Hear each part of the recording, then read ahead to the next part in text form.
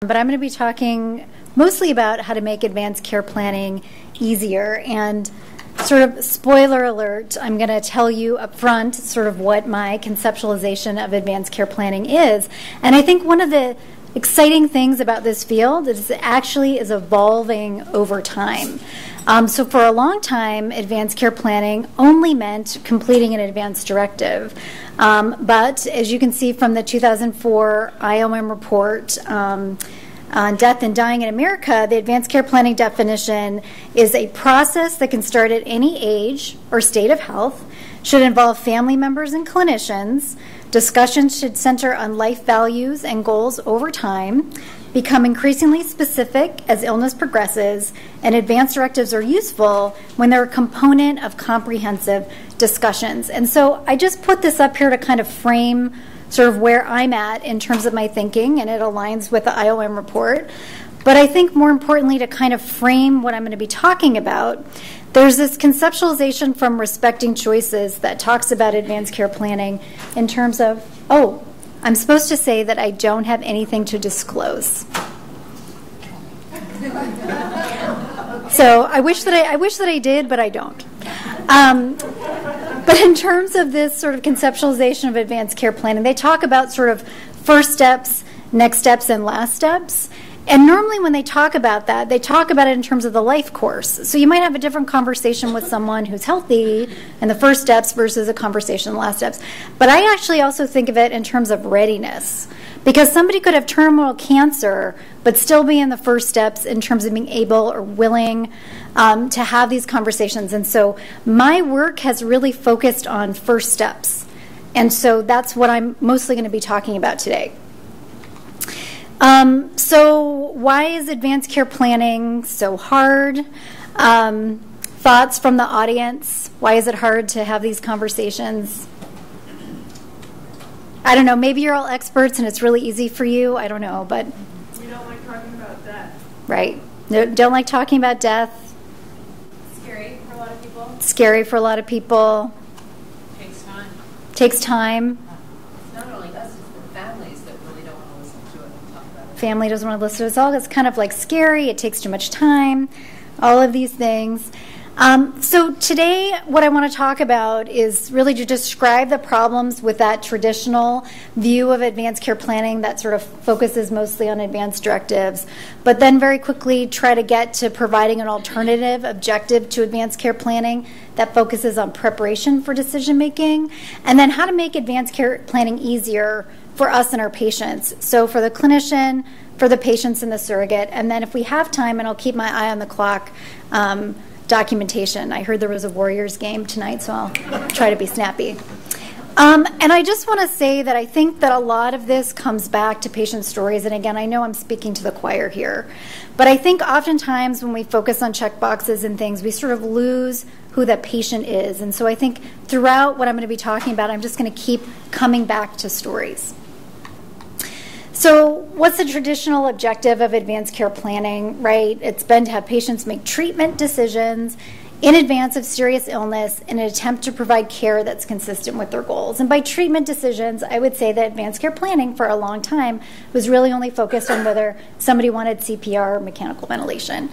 And we've used advanced directives and POLST forms. And I think the thing is that clinicians and lawyers really sort of like the checkbox. I like the checkbox. You do the checkbox and you're kind of done, and we can just sort of be done with this. And are you DNR, DNI, yes or no? And then we can just sort of move on from here. Um, and the thing is, advanced directives are helpful. So studies have shown that they can help. So there was a study by Joan Teno um, a while ago now, in 2007, that showed if somebody had an advanced directive, there was better communication between the surrogate and the doctor but there was still a lot of stress for the surrogate and a lot of uncertainty on their part. There was a sort of landmark study in the New England Journal of Medicine in 2010 that was showing that if somebody had an advanced directive, they were sort of more likely to get the care that they wanted, but in like the last days of life. And I think the question that I have is well, I'm a geriatrician, and patients basically are making millions of decisions in their family over time, months, if not years. And so, do these things really help people over time and not just really in the last days? That to say, I'm a huge proponent of advanced directives, and I actually created one. So, for people that don't know, um, this is an advanced directive we created for California about 10 years ago. It's written at a fifth grade reading level. It contains pictures. It's been translated into 10 different languages, and it's free. And on top of that, it's evidence based. So, we actually did a randomized control trial at San Francisco General Hospital, and among English and Spanish speakers, we found it was overwhelmingly preferred. There was inco- you know, increased uh, six-month completion rates, basically doubled from baseline. There was only one person that filled out the harder form, and that's great. But you know, and this is. Uh, you know, I was going to say that that's great, but the problems if you're focusing just on advanced directives are that they're not always available when needed. I think POLST and the EMRs may be helping that, but I can tell you, we just had you know something on ethics committee just last week that sort of the same thing is sort of coming up. Um, studies have shown that just the form itself, without a discussion, really doesn't improve people's knowledge. Doctors or their surrogate decision makers more than chance. Um, you know, there have been some studies that show that just having the form does affect cost, especially in high sort of cost areas, but there have been a lot of studies that show that they don't. And as I was saying before, they don't always prevent surrogate stress. So, problems with only advanced directives, as I was saying, is that these forms usually only focus on CPR, even though there are a lot of other decisions. There was this crazy story in Canada that looked at 12 hospitals that actually showed that 70% of the time, end of life decisions were either missing or wrong in the medical chart. So, even if you have them, that doesn't mean that they're up to date or they're what the person wants. And the forms themselves, in and of themselves, they don't really prepare people for this ongoing decision making that they might have to do. And again, the question is are advanced directives enough? And so I'm going to read you a quote from one of our focus groups, and throughout the course of this talk, you'll hear a couple of these quotes. Um, and this was from a surrogate decision maker that said, We got the DNR in writing, but in making the decisions, which there were many, that was just one because the first decision was to put him in a nursing home. We were married 30 years and I could no longer take care of him. Then the second decision was whether to put him on a feeding tube because he had stopped eating and I wasn't ready to let him go. So advanced directives are important, but they're not really the whole story. And I think we all know this sort of intuitively that no form or checkbox will really ever eliminate the uncertainty and the complexity of the human condition, but we keep trying. We keep trying to put people in those check boxes. And again, that's why getting back to this idea of stories. So we know that we need ongoing discussions, but what do we sort of talk about and how does this work? So we know that for patients who have terminal cancer and you have an end of life or goals of care discussion, that this results in less intensive care at the end of life. There was a study that was done in Australia looking at uh, in patients who were over 80 who were near the end of their life and they had these discussions. They had more documented wishes, they were more likely to have a documented surrogate, more likely to have their wishes followed, less family stress, anxiety, and depression. So that's all great from having these discussions. But if we go back to my sort of conceptualization, and I'm not talking about the end of life, I'm trying to pull it forward, what do we talk about? So, for terminal patients who are not ready, are you just going to jump in and start talking about CPR? Or what about for non terminal patients that have chronic illness and we know that we sort of want to get them to start thinking about this? Do we talk about life sustaining treatments or do we talk about something else? So, how do we prepare people for these discussions and some of the decisions that may be coming up for them? So, I just want to touch briefly on problems with the traditional approach to advanced care planning. And some of the problems really focus on three things prediction, adaptation, and extrapolation. So, in terms of prediction, I like to ask Do you know what you want for dinner next Tuesday night? I guess we could say next Monday night. Um, and you might say, well, I'm a vegan and I know that I don't want meat and I don't want dairy, but you know, it really sort of depends, right? Like, what do the kids want? What do I feel like? What's going on with work? And I think it's kind of the same thing that we may not know whether we want to have a breathing machine one, two, or 10 years from now. How do you know that when you don't even know what you want for dinner? And I would say this is the interesting thing. There have been so many sociologic and anthropo- anthropologic studies that have shown that people can't predict what they're going to order for dinner at a restaurant or buy at a store 30 minutes later, much less the exact care that they want next week much less years sort of in the future. And that's because these predictions really don't reflect one's current medical, emotional, or social context. Um, and we also know that people change their mind all the time. This is a human condition. And studies show that people change their mind when their health is stable, people change their mind when their health changes, sort of changes all the time. So, and then there's a lot of uncertainty, and I think this is about hypothetical scenarios or predicting what you may want. You know, a lot of times in these advanced directives, it's like if you were to be in a coma or if these things were to happen. And we actually gave people some of those very unambiguous hypothetical situations, and then we gave them that easy to read advanced directive, had them make a choice, and then we asked them basically how sure they were. And 50% of diverse older adults who reported a treatment preference based on a hypothetical scenario were uncertain about their decision. These were elderly adults with chronic illness who should be doing advanced care planning. So, uncertainty was associated with lower literacy and lower education, minority status, but also poor health. And that was sort of interesting to us because I think there's this, this idea that if somebody's really sick, then they'll know what they want. And actually, these people who were very sick were very uncertain about the choices they were making on an easy to read advanced directive. And I think we need to sort of think about that and what do those forms mean when we're carrying those decisions forward um, in the future. So I don't think people know how they're going to feel until they're faced with a situation. They may have all kinds of theoretical ideas or something they read in Dear Abby, but when the time comes, you may be very surprised at your own reaction to something. I mean, it's not as easy as black and white, there are so many gray areas. So, what about adaptation? So people will say that there's no way that they may be able to cope with disability, but they can. So people will say, if I were bedbound, if I were in a nursing home, if I had an amputation, that's it, pull the plug. But study after study shows that people get into these situations and actually report good quality of life. And some of them report still wanting aggressive treatments and changing their mind. Um, so we are adaptable creatures, and what does that mean sort of for future care? Um, and then that sort of bleeds into this problem with extrapolation. So sometimes there are value statements that can be too general. So on some forms, I've seen things like, I want to maintain my dignity or be free from pain. And does that mean I start dialysis or not? Or what, what does that mean? And even when you have treatment preferences that are very specific, they can be hard to extrapolate. So, a lot of these advanced directives will say to forego treatment if something is irreversible or terminal. And I'll tell you, as a physician, it's hard for me to know that. So, for example, I have a patient who has CHF who's been hospitalized 10 times in the last year despite all my best efforts. And every time he comes in and he goes to the ICU, he's been intubated multiple times. And every time they have the conversation with the family that this is it. And every time it's not. So, how do you really know it's really that time?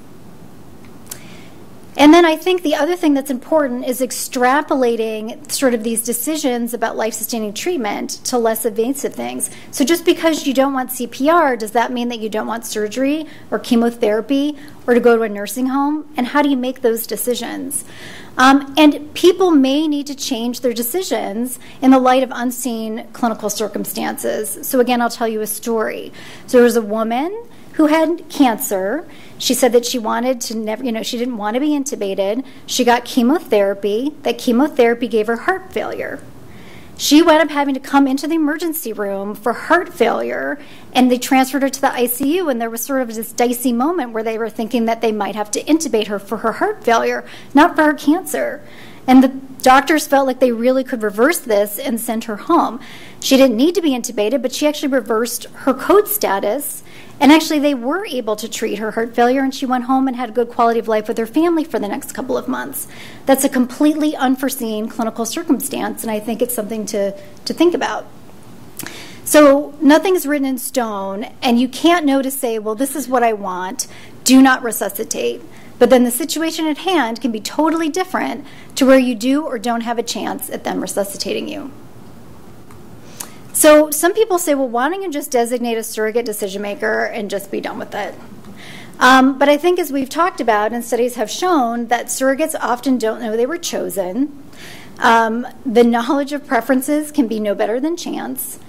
Studies are showing that there is extreme PTSD and stress and anxiety for family members who have to make decisions um, in these situations. And then surrogates often use their own hopes, desires, and needs. Um, and this is where I like to tell the story about my grandparents. So, this is a picture of them on their wedding day um, in the early 1940s. And my grandfather had, you know, I think almost every organ system was down, uh, sort of in his last year of life. And he, the day after Christmas, he fell and he broke his hip. And he went into the hospital and they pinned his hip. He was, you know, there for three days. And then they sent him to a nursing home. And what nobody failed to realize is that he was diabetic. And they immobilized him for three days. And on day post-op day number, I think it was four, his geriatrician finally saw him in the nursing home. And by that time, he had stage four decubitus ulcer to bone in both of his heels and he never walked again. And he spent the last six months of his life going back and forth to the hospital, having heart attacks, needing, you know, they almost put him in you know, dialysis. Like it was just this horrible downward spiral. And nobody was having a goals of care conversation with him. And I didn't want to, but I felt like somebody needed to, and so I did. And he was very, very clear. He said, You know what? I'm tired. I'm not afraid of dying. So many people in my family have died, and I've seen terrible things happen. No breathing tubes, no shocks, no pushing in my chest. When it's my time, please just let me go. And my grandmother was sitting there. She had heard the whole thing. She was teary eyed. And I turned to her and I said, Did you hear what Grandpa just said? And she said, Yes. And I said, Well, what are you going to tell the doctors to do if Grandpa's heart were to stop or he were to stop breathing? And she said, Well, of course I'd tell the doctors to do everything possible to keep my husband alive. Are you crazy? Of course I'd say that. And I thought, was I the only person in the room having this conversation? But we'll get back to sort of this um, story. So then the question is, why do anything in advance? What, what can we do? Um, and I think the thing is, is that you know clinicians really we can't make recommendations or guide patients um, without knowing what their values and needs are. And unfortunately for the patients, that really can kind of only come from them um, or their family members. It's highly individual, and a lot of these people are meeting you for the first time. Um, and without preparation, patients and surrogates may not be able to communicate their values effectively, again, if there's stress and sort of no prior relationship with their doctors. That's sort of a tall order for us to expect of patients. So, now I want to talk about an alternative objective of advanced care planning that focuses on preparation for decision making. So, Terri Fried and I spent a long time trying to figure out what is that missing puzzle piece of advanced care planning. And we published this thought piece in the Annals of Internal Medicine, really calling for not only focusing on life sustaining treatment, but really trying to prepare people for communication and decision making, which they and their family members are going to have to do. So, this really shifts the focus away from only asking people to make treatment decisions on an advanced directive or POLST and seeks to prepare people with skills to identify what's most important to them, right? That's evolving over time, to communicate with surrogates and providers effectively, and to make informed decisions based on their own values. And if you think about it, advanced directives really then should be a marker of full preparation and reflect these discussions over time. So, how should patients prepare? So, I'm going to start by talking about three steps. Again, these three steps are in that Annals of Internal Medicine paper, so if you ever want to go back, you can sort of look at those. I'm going to first talk about the content, and then I'm going to come back and talk about how you can actually do it um, yourselves.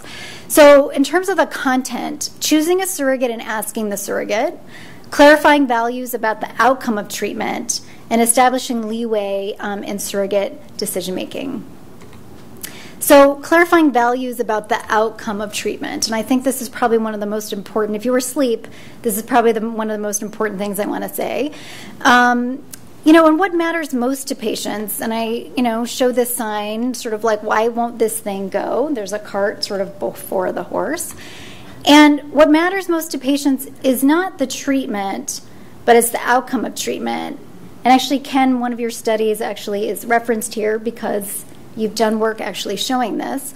Um, people want to know what their life's going to be like. So it's not intubation or CPR, what I call the cart, but again, how their life will be after the treatment, which is the horse. And one of the things that I think that we sort of mess up often with patients is we start with the cart. We start with asking people if they want CPR or mechanical ventilation before we actually find out what their story is and who they are and how they want to live their life. So, are we reviving him, sticking the tube in so that he can suffer more? I guess it goes back to what happens if you revive him. Is he going through that whole process again? It's the end result. So, and we've also shown that prior stories really can help people frame their medical decisions. So, um, we actually did a study. So, way back in the day when we were doing our randomized control trial of that advance directive was during the time when Terri Schiavo was all over the news. And for those of you who don't remember, she was a young woman in a persistent vegetative state, and there was a huge sort of media uh, frenzy that, you know, this was all the way up to the Supreme Court about whether or not they were going to remove her feeding tube. So we sort of capitalized on that and we asked our patients in our trial if they had heard about her story. And actually, 92% of our English and Spanish speaking older adults at our county hospital had actually heard of her story. But more importantly, due to the case and the media coverage, 61% had clarified their own values and goals for medical care. And of those, 66% spoke to their family about their goals, but only 8% spoke to their doctor, which is a missed opportunity. So, just to say that these stories, whether it happens to them or their family members or they see it on the news, can be used to help people identify their own values. Um, and I'll come back to that. So, reflecting on changes. So, helping patients reflect on whether they're changing or adapting to serious illness and studies have shown to help people better predict their preferences in the future. So, as they progress along their disease trajectory, these discussions can become more specific. You can use their own story. So, when you were in the hospital with heart failure, when you were in the ICU and you were intubated, tell me that story. Tell me how that went for you. Tell me if it would be worth it again. Um, and then choosing a surrogate and asking the surrogate, establishing leeway in surrogate decision making. Again, still talking about the content or why are these things important. So, surrogates need preparation. So, I think the scary statistic is that anywhere between 50 to 76% of us in this room will be unable to participate in some of all of our medical decisions at the end of life, meaning we may need somebody to help us. And surrogates report being unprepared to make medical decisions, never being asked, and not knowing their role. The process is highly stressful and it's difficult if they have no sense about what somebody wants, but more importantly, why somebody wanted it. How many people do you here do palliative care consults in the hospital? How many times do you go to the ICU and then somebody's just looking at you like a deer in headlights because they never knew they were going to be in that position? Like it happens all the time. So the only thing I managed to talk to my father about was if anything should happen and his heart should stop. That was the extent of how much I knew what his wishes were. The other stuff we were guessing at is Chino, whether he would want to be home or on hospice.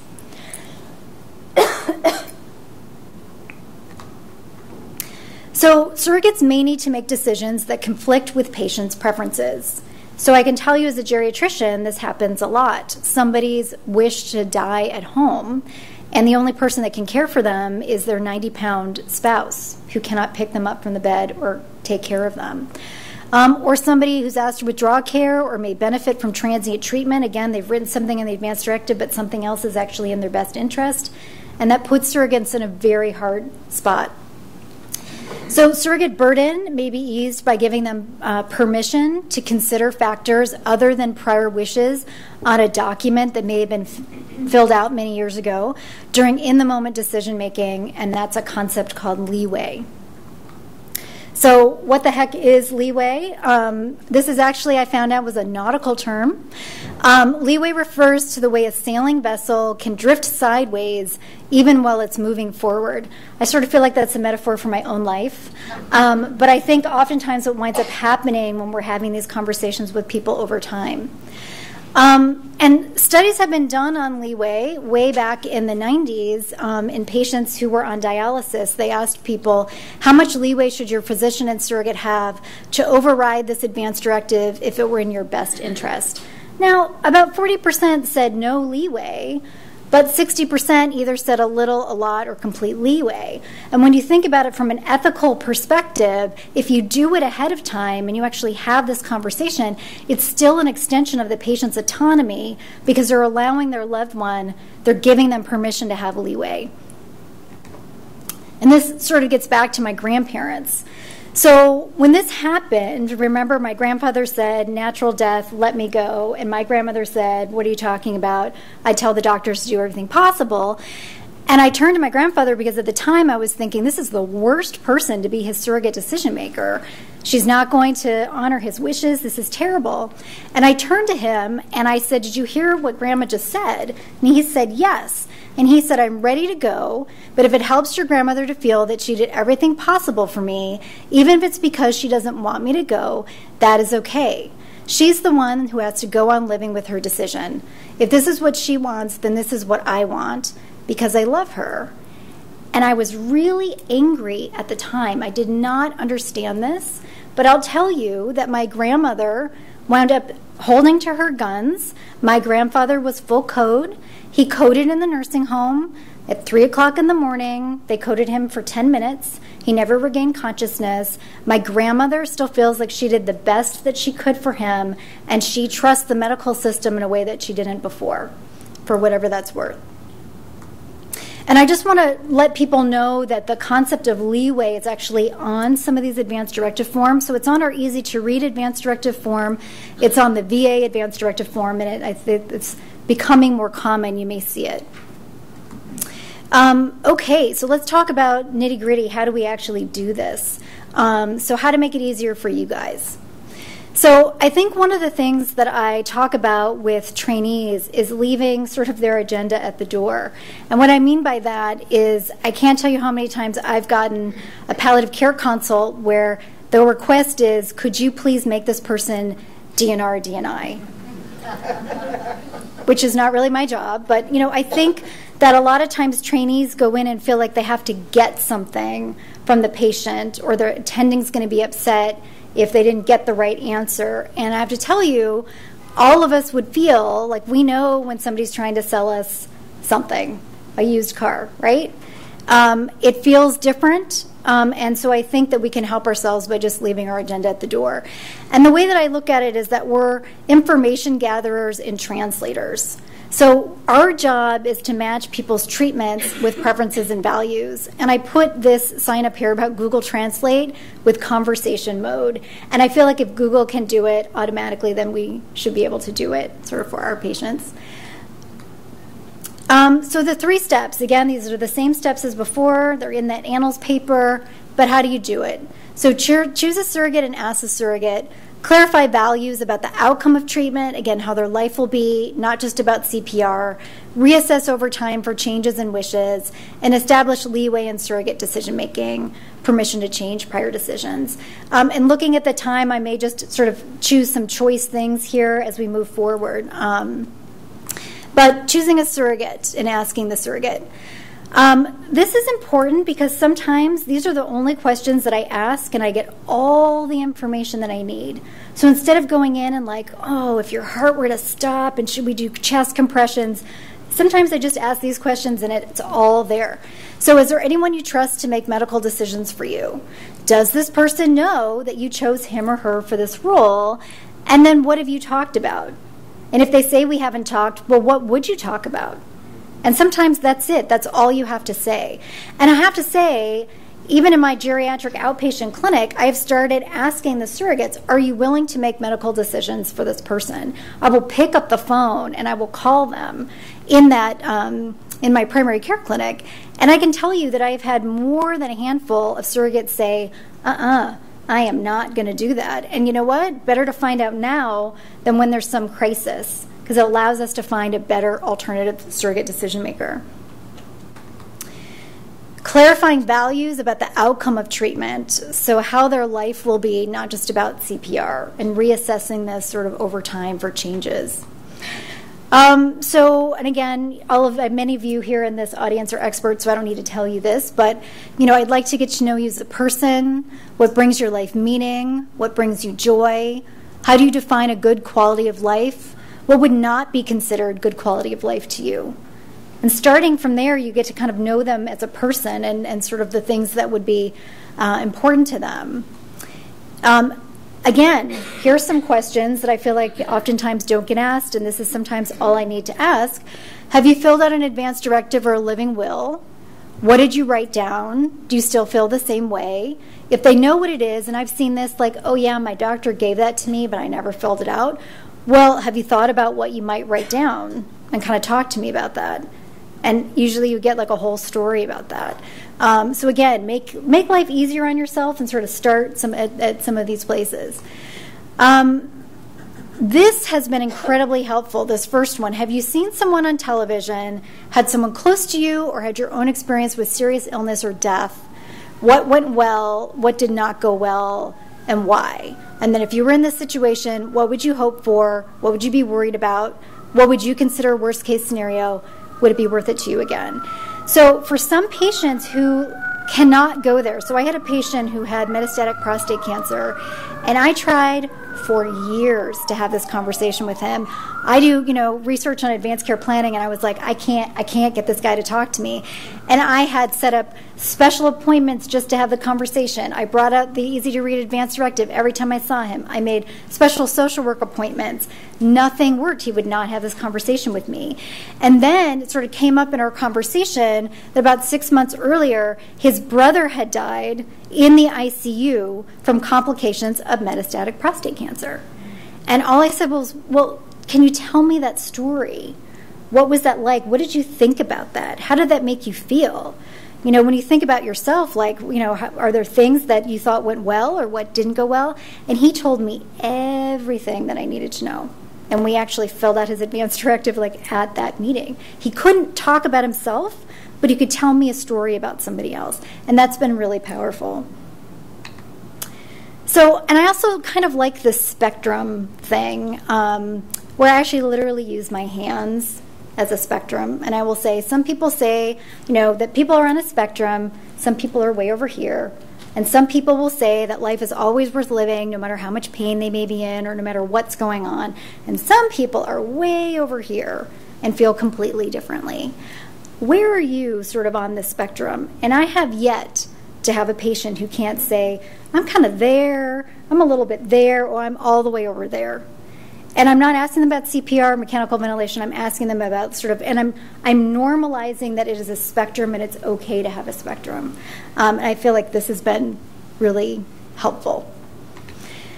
And then I think this gets back to us being translators. So based on what you told me, about what brings your life meeting, what you wrote in your advance directive, how you felt about your loved one's experience, how you felt about your last hospitalizations, the things that would be worse than death. It sounds as though X may be something that you would or would not want for yourself. Is that is that true? And they can always say no, you totally missed the boat, but they're also hearing that you're listening to them and their story and what's important to them.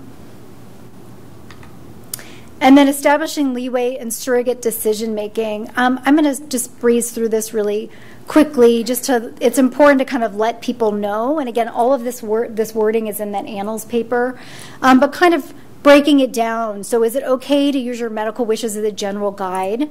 So, this means that your loved one would do their best to follow your wishes, but it would be okay to change your decisions if your doctor think, thinks that something else is best for you.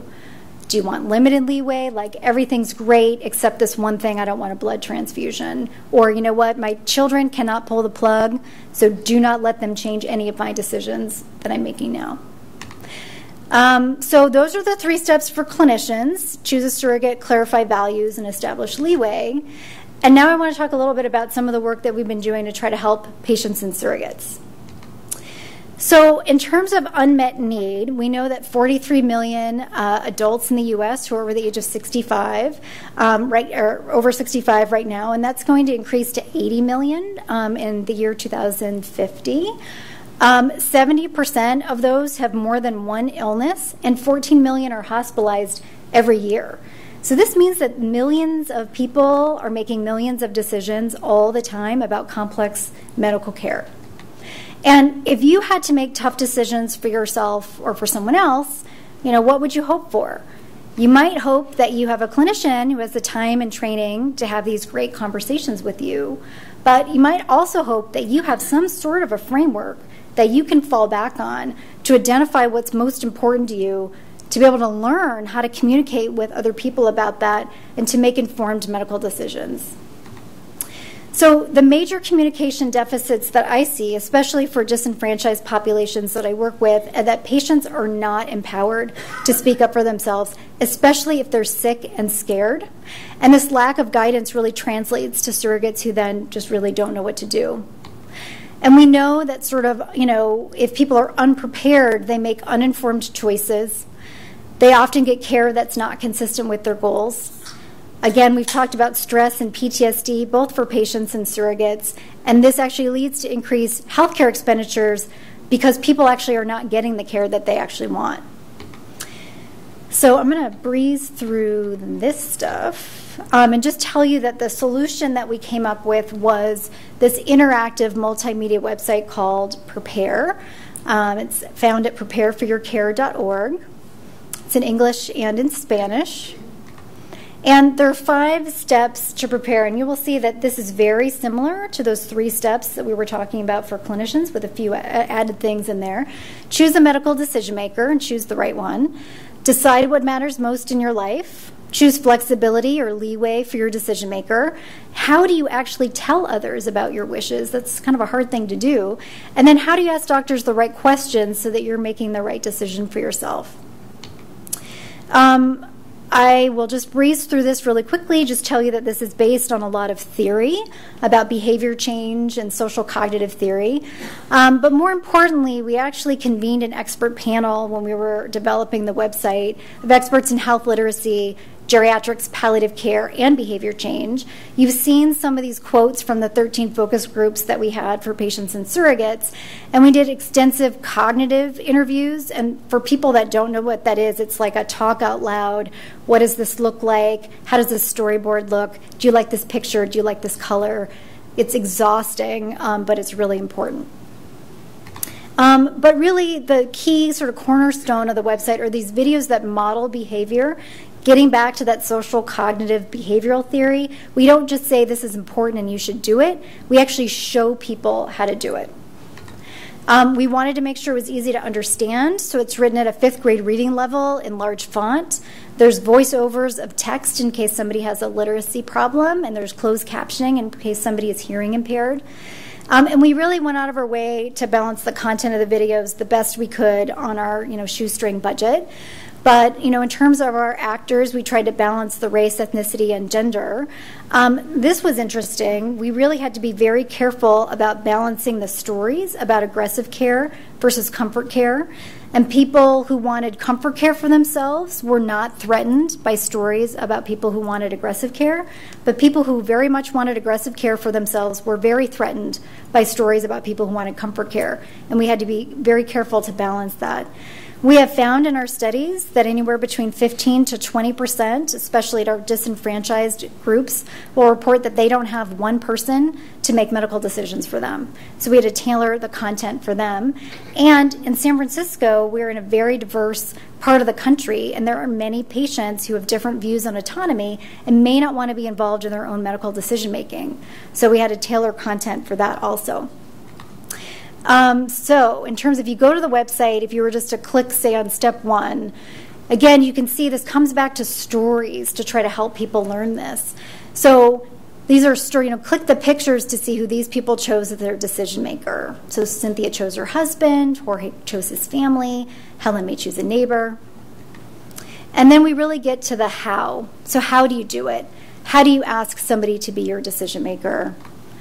We actually give them words that they could use if it's too hard, there's too much activation energy to do it, or someone could just sit next to them while they're watching the website and they can just kind of ask them that way. Um, how do they overcome barriers? So these were common barriers that came up in our focus groups, and people can click on them if they think it's going to be too scary or they don't know how to sort of engage. How do you tell others about your wishes? How do you ask doctors the right questions? And then again, as people are going through these five steps, the site actually asks people about their wishes and goals. Um, and we've recently added sort of open ended um, sections too, so people can actually write down why they feel that way. Um, and at the end, we ask people to make an action plan. Um, and by that I mean sort of a mini contract to do something. It could be as small as just thinking about who they want their decision maker to be. Um, and then that prints out a summary of their wishes that has their action plan, it has all of the things that they've decided. Um, and the idea is that this is really to be used to spark discussions with their family and friends and their clinicians. This is written at a fifth grade reading level, has large font, and we were finding that people were bringing this in um, to their physician. It was being scanned into the medical record, so we felt like we needed to do something a little bit more, um, I don't know, looked official, and actually had for the medical provider on here. Um, so that's in, involved too. And then when pe- people are ready to complete advanced directives, there's sort of a guide for how you can do that. And I'll just tell you that there's some exciting sort of things about this um, in a moment. Um, so we actually did a pilot study and found that Prepare actually does improve patient engagement in advanced care planning. We actually went to low income senior centers, and patients in this pilot were 70 years of age. And I will say that 92% of them had never used a computer before. And these were chronically ill older adults.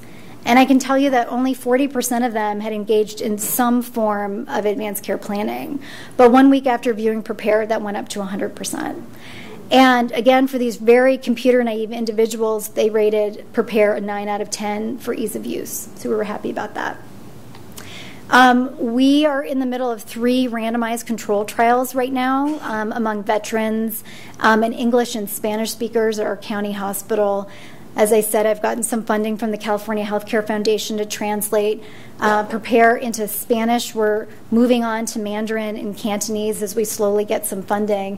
Um, and what's really cool, so excited, I've been wanting to do this for 10 years.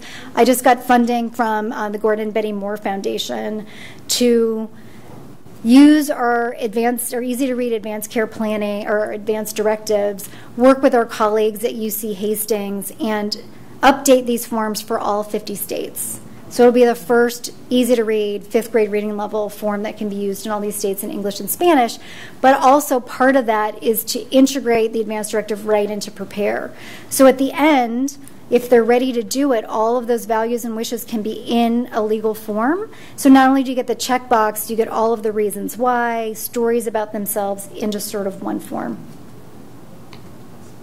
Um, we have a new partnership, which is really exciting. So um, we have a license agreement with Optum Care, where we're pilot testing Prepare among Medicaid Advantage patients. And what's cool is we've worked on this new functionality for Prepare, where we can white label the content. So Optum, you know, looks like Optum's website, but the cool thing is that we have data reporting. So in terms of a population of patients, you know, you can know who's going to the site, what are their wishes and values, and we're working on ways to sort of integrate this back into the EMR and get it back to the point of care. So I'm just going to end here by a little bit by talking about documentation because this is sort of the one of the things that is just I think so important and it really gets back sort of to those stories.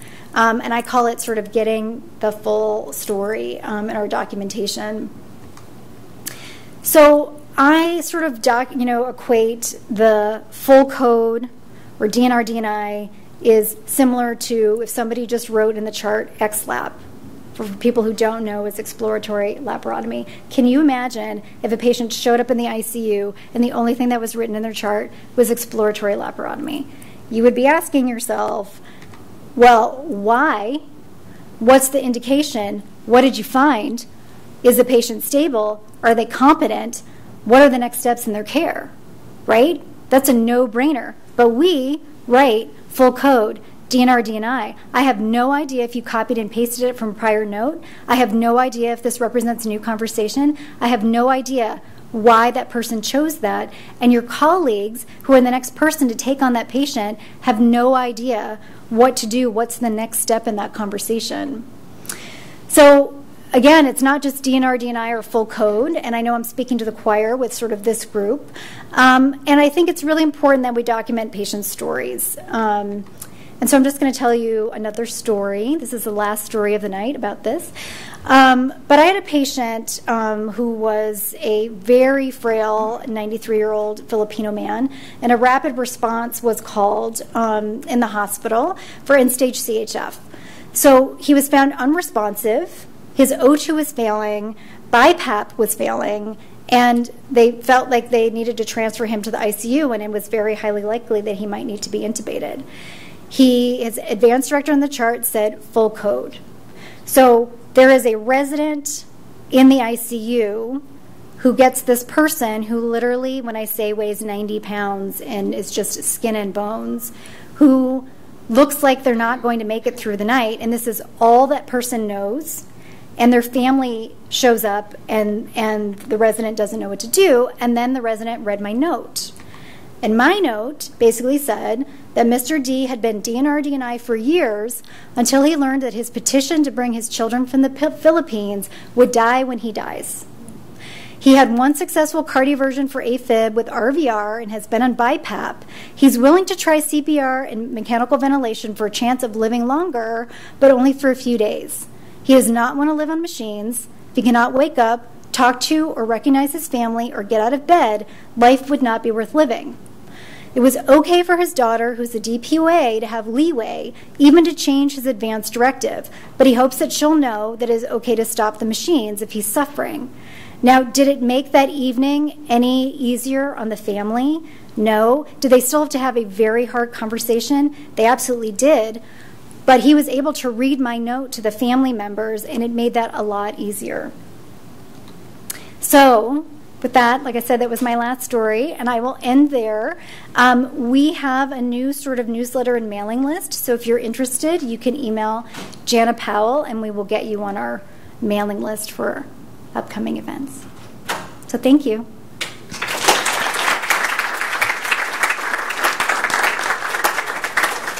If, um, if you don't need to leave for the Warriors game, um, we, it looks like we do have a few minutes for questions.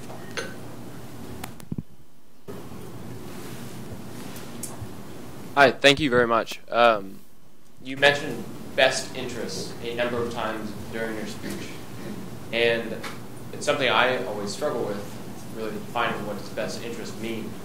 At one point, you're saying that the advanced care directive may uh, conflict with someone's best interest.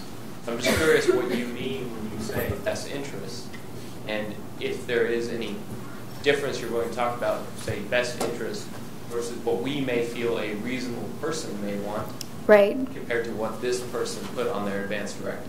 right. Um, so there's a bioethicist here. Maybe you would like to feel that that conversation. um, you know, I'm. you know, I mean, I'm on the ethics committee at the VA, and I think this comes up a lot, right? Um, and I think that it's not really an issue or problem until it's an issue or problem, right? So if somebody's DNR DNI, and we agree with that, nobody questions it, right? And if somebody's a full code and then we question it, that's where sort of these things wind up coming coming up. So I think um, uh, best interest is can be interpreted as you know if you're a bioethicist, and I think that whenever there's conflict, um, you know, I, I don't think people should be making these decisions alone. Yeah, and I think for the surrogate, when you think about it.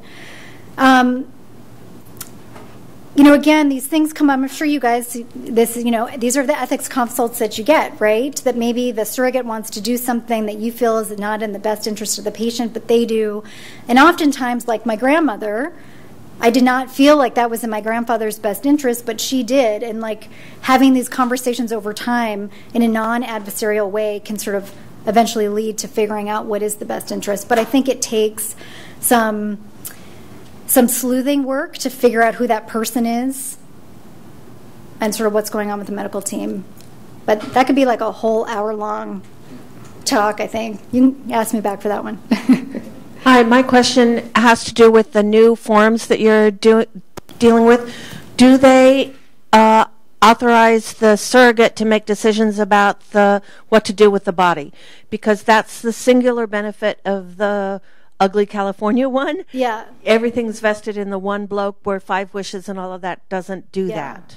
Yeah, so the new form so we just updated these forms, I want to say two months ago, and there is a little form so that it can extend, you know, to, to the, basically, we don't say it this way, but disposition of somebody's remains. Cool, thank you. Yeah. First of all, I, I just wanted to make a comment. Um, as, as someone who's been interested in this field for a long time, I want to thank you uh, for taking something that, uh, an area where for years advanced care planning didn't make a difference. Uh, and um, turning it into something that is evidence based, conceptually driven, where it is highly likely to make a difference moving forward. So you deserve a tremendous amount of credit for that. Thanks. And it's incredibly hard work.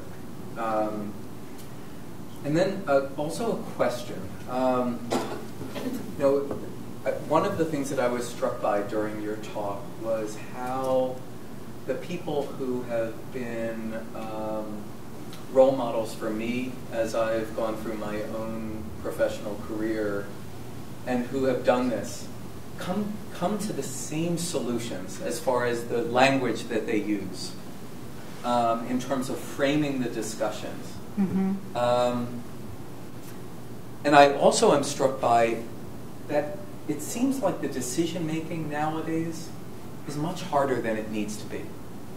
Because for many of the decisions, they're on foregone conclusions where someone is dying really soon. Mm-hmm. And that the discussions are really around the margins. And I'm curious what your thoughts are about uh, the interface between framing these very important conversations and specific questions, and then maybe trying to move things away from decisions around the margins, but to decisions around things that are just more basic. Um, I, I don't know if that makes sense. Well, I don't know. Getting back to a story, I don't know if the story will answer your question, but um, it's about my grandmother. So fast forward, you know, to her, sort of what's going on in her life, and all of her doctors have been asking her. You know, she is very. She's 98 years old. She's you know in and out of the hospital. She's very frail, and they keep having these conversations with her about CPR, mechanical ventilation, and she wanted to be full code. And the, the, she kept saying, Well, the reason I want to be full code is because I want my sons to be able to come to my bedside and say goodbye. I don't want to die alone. It's okay for them to pull the plug, but I want to wait. And sort of like you said, that's kind of like a margin decision. And I just asked her, I said, Can you describe to me what your end of life looks like? If a perfect world, what does it look like? And she said, Oh, well, if I were to get sick, the doctors would do CPR, and then they would put me in a hospital bed, and I would just wait until my sons came, and then they would come, and they would bring me some cake, and we would sit around and we would reminisce, and then they would both kiss me on my cheek, and then I would go to sleep. And then, you know, so then we were having to, we were able to have a conversation about what was really important to her is her family and her sons and her sons being there and her not wanting to die alone. And we could have a completely different conversation. So I don't know if that answered your No, it's, question. It's, it's a great question. I, and I'm just going to add on saying that, that my own communications have evolved over time because I realize that, that a lot of patients' preferences are driven by unrealistic expectations of what is the, this going to be like. And so now I've, I've gotten to the point where I say, some people say, regardless of the situation, they want to fight for every last minute even if it means they're going to die on machines and less comfortably mm-hmm. than they could. Other people say, yes, I want to live as long as I can, and I want the doctors to help me. But if it gets to that very close time, Right. I'm willing to sacrifice extra hours or days if I can be more comfortable and at peace. And the, the, the framing has changed people's responses. hmm And I guess I, I struggle with this issue that I, I'm wondering if we're still at a place where the framing of these discussions are still focused on the margins rather than on the bigger picture. Well, I think, you know, getting back to that, you know, focusing on the treatment and not the outcome of treatment. That's sort of exactly what you're talking about. When we start with do you want dialysis? Do you want a feeding tube? Do you want CPR? Those aren't the right questions. You know, starting with how do you want to live your life and what do you see, you know, what's important to you, sort of are the, the places to start.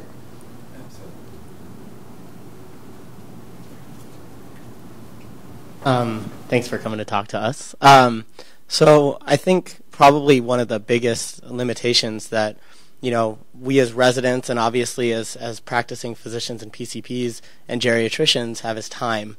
Um, and I think we all would love to listen to our patients' stories if we had enough time. Um, and we probably should still, even if we don't have enough time, try to listen to our patients' stories. Um, I guess from a logistical standpoint, you know, you were talking about how you would schedule separate appointments to talk about advanced care planning, and I think that's a great idea. Logistically speaking, um, how how often can you bill for that? Yeah. You know, can you do that once a month until you have the full story, or Yeah, so that is a great question.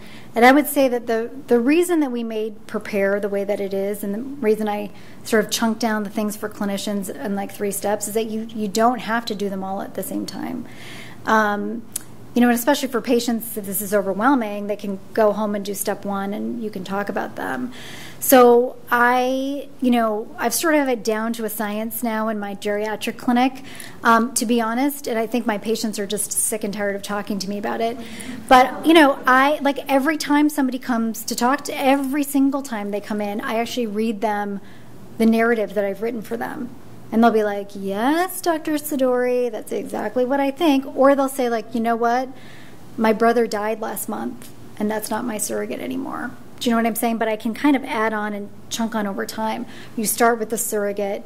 And like I said, sometimes that's the only question you ask, and you get all the information that you need.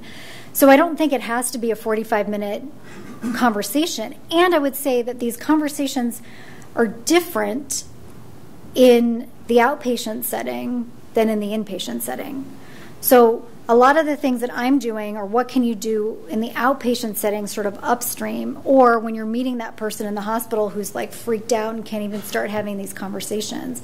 Um, so I think there's a there's a little distinction between those two settings and, and those patients, but you know um, there's you know the new CMS sort of reimbursement for advanced care planning is very exciting because the way that they wrote it you could get reimbursed for advanced care planning every time the person comes in. Now, the thing to know about that, which I just learned, is that your patient won't have to pay a copay the first time, but they have to pay a copay after that. But that being said, you can still bill. It's not like you can only do it once and, and sort of that's it. And that's on the outpatient side. Um, but I think that there are ways, and again, this is making it easier for us. Sometimes we feel like we have to have the whole conversation at one time. Even if you're on the inpatient service, you're not going to have a full conversation the first time you meet someone. And we feel this like we've got to get everything done in one time. But I think people don't process that way. I think it actually makes us inefficient, um, and you can kind of shorten your time by doing it in, in blocks. I can tell you want to say something. Well, there's an interesting program coming from uh, Harvard and the Brigham um, called Talking About Serious Illness that has really come up with a, a checklist, kind of a la Atul Gawande, for having the conversation, particularly in the outpatient setting by a primary care provider. And their work is pretty exciting as well because it's it's a guided conversation, right. and you can do it in 20 minutes or less. And, and the other thing is maybe you just do one of the things on the checklist, but you did something. And so it doesn't, I think for us, again, making it easier, it doesn't have to be so overwhelming. I thank you very much. It is a wonderful presentation. Um, I deal with elderly individuals and their families. So when I got the notice about this, I went to your website. It is great. I only spent about 15 minutes. I was totally convinced. Um, so I want to know uh, can I share this with tons of people? Um, yes. So, so the and, and you know, I would say please feel free to to contact me because I'm trying to figure this out for ourselves right now. There's been this ongoing thing. It was my, always my intent to share it and make it free for the public, and that's what we've done. Um, we've tried to figure out ways that insurers or healthcare systems would also like to sort of buy onto it, especially for the data piece, to kind of keep it sustainable. So right now, and, and I have to say, it is so I mean, as I like to say, I, I went into medicine and not business for a reason because I just hate all of that stuff. So, right now, you can send anybody to it. You can let people know about the site. It's free to the public, it's been free for the last three years. And if anybody has any ideas about a sustainable model to kind of be able to keep it that way, please let me know. Um, one, I think I was telling Shoshana here that one of the things that's exciting about the Gordon and Betty Moore Foundation grant is they're allowing me to kind of pull together an advisory committee to help us sort of figure these things out. So what we have so far is if, if individual people are going to the website, it's totally fine. If it's sort of like, here's our healthcare center's advanced care planning program and it's about prepare, then just for legal reasons, we need a license agreement, um, if that answers your question. Can we just include it in suggestions Yeah, for patients? absolutely. Okay, that would be what we do. Absolutely. And one other last item, I, I, as I said, I spent about 15 minutes. Did you address in any of your vignettes the more challenging discussion in some of the Asian families? Yeah, so that actually came up quite a bit in our focus groups. Um, specifically, uh, individuals who actually, you know, defer to their family members to make decisions, or someone who doesn't want to know about their prognosis. Um, so a lot of those things actually came out pretty strong, and and we pulled, you know, the stories that you see on the website came straight from our focus groups, um, so that we did include some of those. Yeah. So, Jennifer and then Richie. Hi, um, I'm a hepatologist and I deal with liver cancer patients and end stage liver patients. And so we have this discussion quite a bit. And I have two questions. One is that is it enough just to have a surrogate without writing it all down and having the conversation without taking it to the next step? And then the second one comes up in the inpatient setting, which is the the leeway piece of it.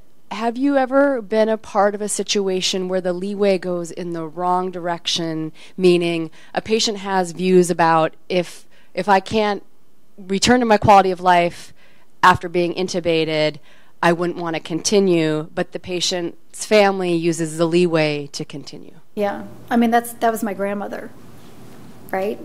Um, so the first one about is it enough to talk to the family and not write it down? I mean, I think one of the things you know we find in a lot of our patient populations, again, disenfranchised groups, there's no way in hell they're going to write anything down on a piece of paper. It's not going to happen. Um, so you do the best that you can, and you try to prepare the surrogate the best you can. And again, you know, as our ethical colleagues will tell us, it's not a problem until it's a problem. So if you have a surrogate and they know what your wishes are, and and the surrogate agrees with what the doctors are saying, it's never a problem. It's only a problem when it's a problem. And I think in terms of the leeway, again, you know, the reason to first of all ask the surrogate if they're willing to do it because you want to know if they're going to say no ahead of time, and then have a frank discussion about what leeway means, right? And I actually, I for one other thing, I mean, I actually think that it's very important to document leeway and what that means to the patient because they're going to end up in your ethics group, right? If the, some of these things happen, and you need to kind of know. So my grandfather, I was able to ask him like, why would you allow her to do that? And he was very clear why right? It didn't make sense to me, but he felt very strongly about that.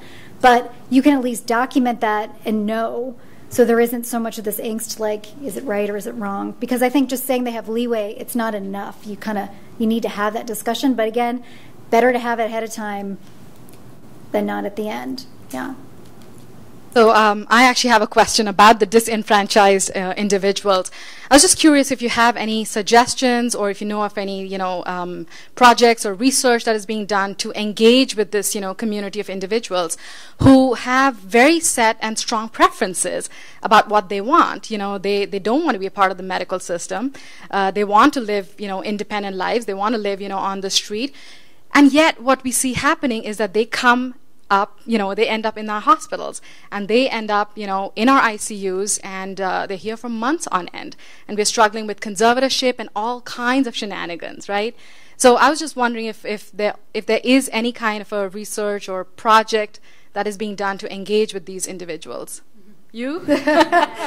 um, so, yeah, a couple of things. So, we're. Um, we're trying to reach these marginalized patients because I think that they're the ones that are most at risk most vulnerable for being in these situations. So whether um, you know we find them um, on the street, we have a, a grant uh, application now for homeless patients. We're working with people who get you know uh, IHSS workers in their homes, so Medicaid sort of funded that way. These are very, so oftentimes very marginalized sort of individuals. Um, in our studies at San Francisco General Hospital, many of these people are, especially in our Spanish speaking community, 60% of those people have limited health literacy. Many of them are undocumented. Many of them are in this country by themselves um, and are very isolated. Um, and again, I think a lot of those those considerations were taken into when we created these materials. So, how do you make them not scary? How do you not sort of cram your own agenda down somebody's throat? So, if they don't want to fill something out, if they don't want to have particular conversations, they feel okay not doing that. Um, on another note, I was actually, you know, the American Thoracic Society meeting was just this last weekend, and um, last Friday I was with a whole group of people from ethics and pulmonary and end of life trying to figure out that very question. Somebody who is homeless, unrepresented, unbefriended, shows up, no wishes, in the ICU, nobody knows what to do and then what do you do? So it's coming. Maybe in the next six months, they're putting together a white paper for that.